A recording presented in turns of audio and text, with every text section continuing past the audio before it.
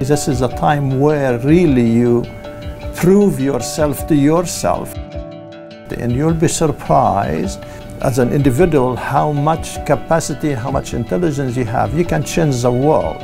What I did really learn in my undergrad, which I think was critical for my development, and I, and I think would be very helpful for, for undergrads now, is to try new things.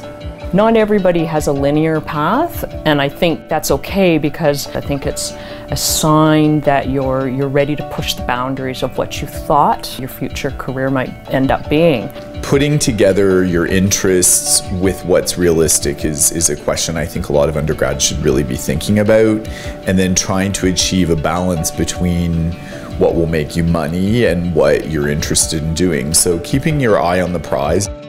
My main advice is for undergrads to do what they're really interested in, what they're very passionate about. And so in terms of the courses they take, the opportunities that they uh, engage in, uh, make sure that they're areas that people are really interested in. Go to your program office, your registrar's office, the Health and Wellness Center, uh, Center for International Experience if you want to go abroad. Make the most of your time here and of those services. Students need to focus on the learning uh, that goes on in an undergraduate uh, education, to focus more about the kinds of skills that they'll develop, whether they're skills in research and communication, critical evaluation, analytical thinking. I think these are skills that are quite transferable regardless of uh, the sorts of careers and, and, and future opportunities that they're going to see themselves in. Throughout your undergraduate career, you will have disappointment and rejection, whether it's in marks, with exams, with tests, with scholarship applications, with career opportunities,